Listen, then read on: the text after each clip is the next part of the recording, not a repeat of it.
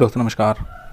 देखिए आज अठारह अप्रैल 2023 और आज की जो है मार्केट के एनालिसिस करेंगे।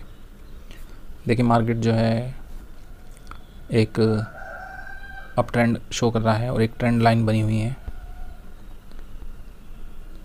तो इसमें जो है आपको कॉल साइड ही जाना होगा पुट लेने की गलती ना करें। तो इसमें जो ट्रेंड लाइन बनी हुई है वो बयालीस हज़ार दो सौ। देखिए बयालीस हज़ार दो सौ के बाद जैसे ये जाएगा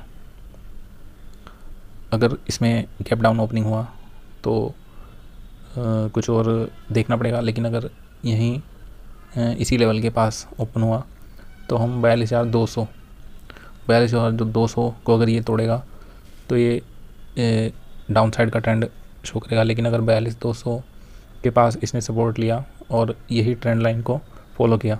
तो ये कंटिन्यूसली आपको बयालीस हज़ार बयालीस हज़ार चार सौ, बयालीस हज़ार चार सौ के टारगेट एकदम से शो करेगा।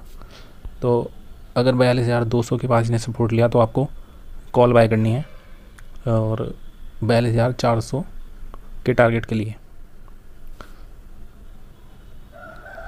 तो बयालीस हज़ार चार सौ का आज का हमारा टारगेट होगा।